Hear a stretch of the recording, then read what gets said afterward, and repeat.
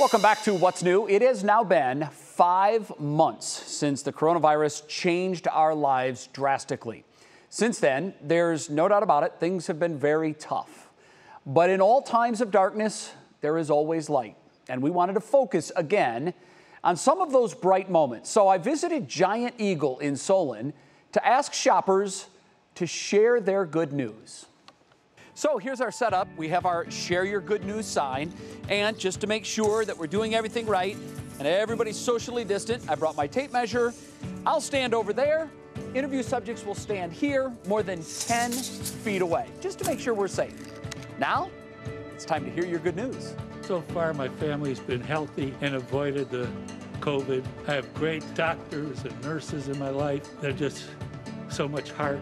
What's your good news? Hopefully, sports will be returning, even though no fans, but they will be able to get to watch and enjoy it on TV. I think it'll mean a whole lot. It'll bring a smile to our faces and just joy. The best news in my life right now is I got a new job at the Cleveland Clinic and I'm learning how to microblade soon and getting certified.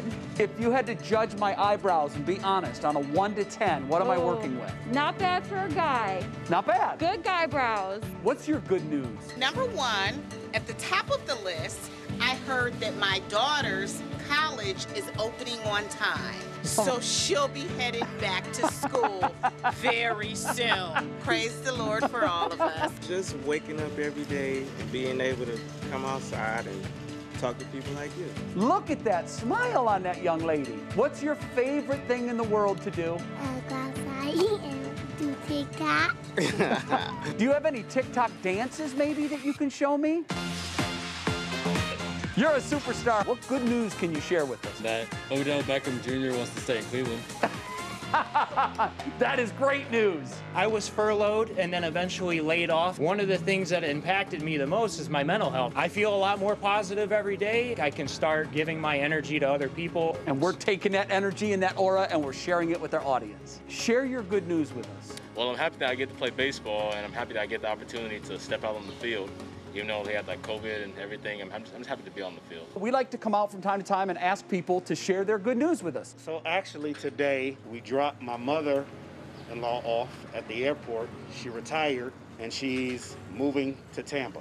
It's bittersweet, you know, bittersweet. She's gone, but going to uh, sunnier horizons. And Chris, I'm glad you clarified that because that could be misconstrued by your mother-in-law or your wife. if your good news is that your mother-in-law moved to Tampa, bro, you know what I'm saying. I have a great in-laws, great in-laws. That's no, awesome. no issues there, no issues. What's your good news? I am a hairstylist and I recently just got my LLC. 2020 has been kind of not good to us, but it's been so many blessings from 2020. So Congratulations. Thank you. I think that's awesome. Thank you. That you're in business for yourself. Yes. Controlling your own destiny. Mhm. That's wonderful. Yep. Can I tell you that just made my day?